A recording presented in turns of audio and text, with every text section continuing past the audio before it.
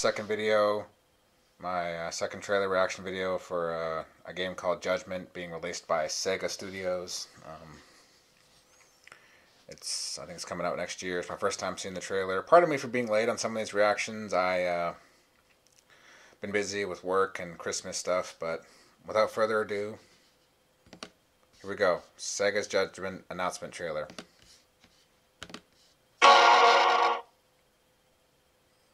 Ryu Ga Gotoku Studio. Come, Kamurocho. No better place for a night out. The whole town's run by the toughest Yakuza family out there. Oh, there. Yakuza. And the deeper you dig, the more interesting things get. Over three months, three Kansai Yakuza have turned up dead. Whoa. That's not the only thing, though. All three of them were missing their eyes. Oh my goodness. We find the defendant, Kyohei Hamura, innocent. Hamura definitely didn't kill Kume.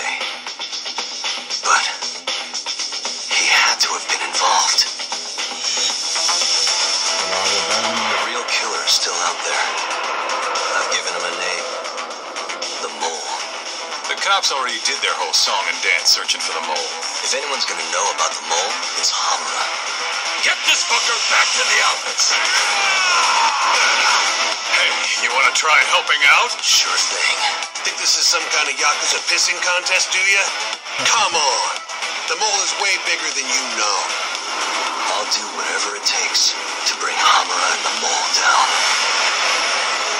You still want to sue? You know, you won't know what hit you.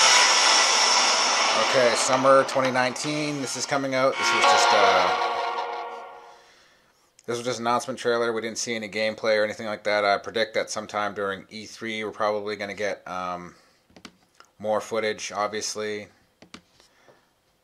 But for now, this does look fairly interesting. Um, I'll definitely keep an eye on it as time goes on.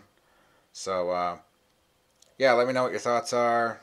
And until then, uh, peace out.